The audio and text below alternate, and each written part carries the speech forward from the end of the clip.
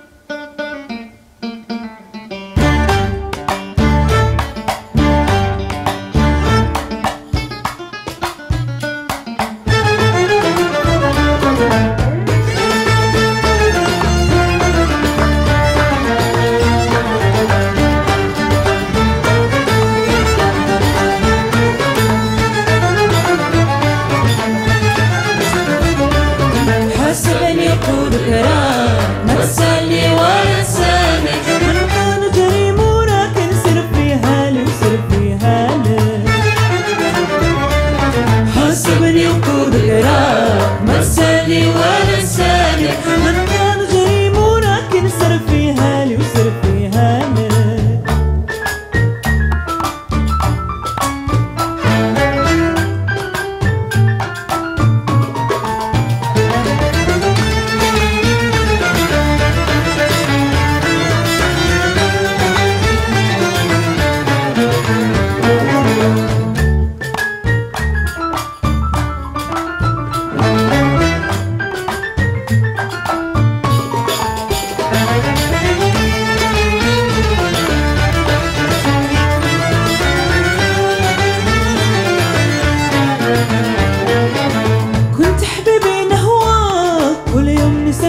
كل مرة كي نلقاك نقولك لك عزم شافي شحال قسيت معاك وشحال ساعة فتح بالك غير نساني وننساك وقريت وفهمت حزانك.